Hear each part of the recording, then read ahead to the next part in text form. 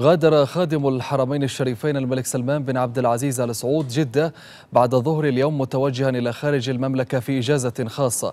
وكان في وداع الملك بمطار الملك عبد العزيز الدولي الأمير عبد الله بن خالد بن عبد العزيز والأمير فيصل بن بندر بن عبد العزيز أمير منطقة الرياض والأمير خالد بن فهد بن محمد والأمير محمد بن مشاري بن عبد العزيز والأمير خالد بن بندر بن عبد العزيز مستشار خادم الحرمين الشريفين والأمير محمد بن فهد بن محمد والأمير الدكتور منصور بن متعب بن عبد العزيز وزير الدولة عضو مجلس الوزراء مستشار خادم الحرمين الشريفين والأمير متعب بن عبد الله بن عبد العزيز وزير الحرس الوطني والأمير سلطان بن سعود بن عبد العزيز والأمير حمود بن سعود بن عبد العزيز والأمير فيصل بن سعود بن محمد والأمير تركي العبد الله الفيصل والأمير نهار بن سعود بن عبد العزيز والأمير عبد العزيز بن سلمان بن عبد العزيز نائب وزير الطاقة والصناعة والثروة المعدنية والأمير الدكتور حسام بن سعود بن عبد العزيز والأمير الدكتور عبد العزيز بن سلطان بن عبد العزيز مستشار خادم الحرمين الشريفين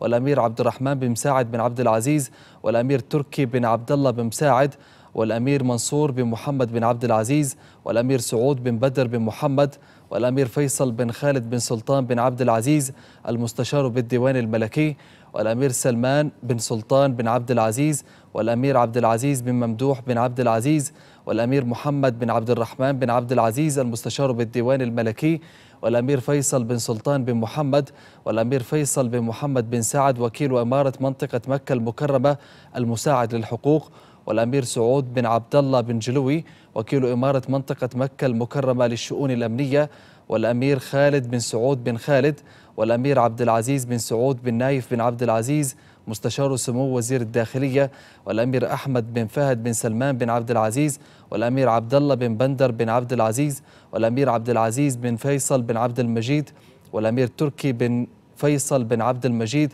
والأمير سلمان بن عبد العزيز بن سلمان بن عبد العزيز والأمير خالد بن عبد العزيز بن سلمان بن عبد العزيز وأصحاب الفضيلة والوزراء وكبار المسؤولين من مدنيين وعسكريين. كما كان في وداع خادم الحرمين الشريفين عند باب الطائرة